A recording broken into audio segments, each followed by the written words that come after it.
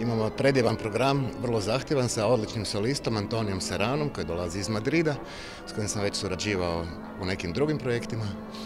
Biće to jedan interesantan program i vjerujem da će publika uživati uživat u toj novogodišnjoj jednoj u jednom ozračju koje je nama svima potreban za nove energije, za novu godinu.